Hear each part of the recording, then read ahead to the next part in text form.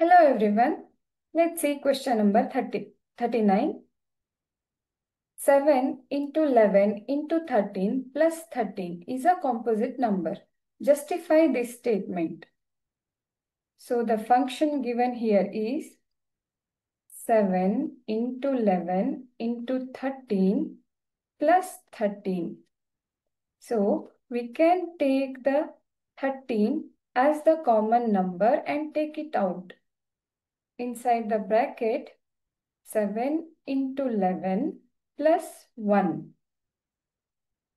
And we have taken 13 out. So we have to write 13 outside the bracket.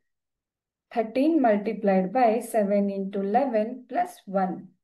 7 into 11 will become 77 plus 1 into 13.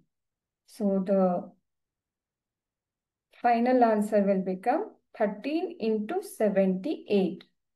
So this is 13 into 78.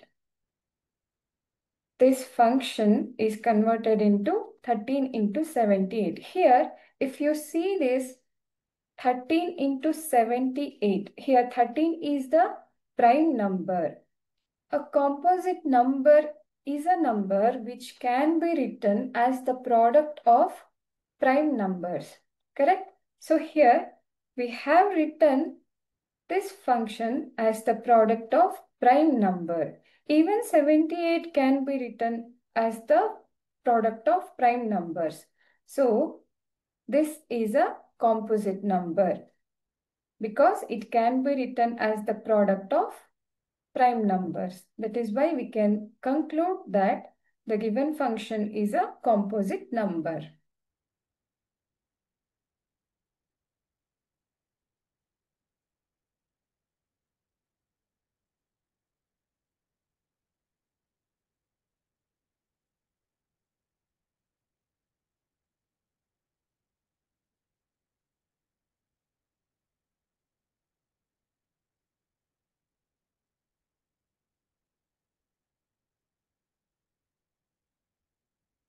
And also it has factors as um, 13 and other numbers, correct?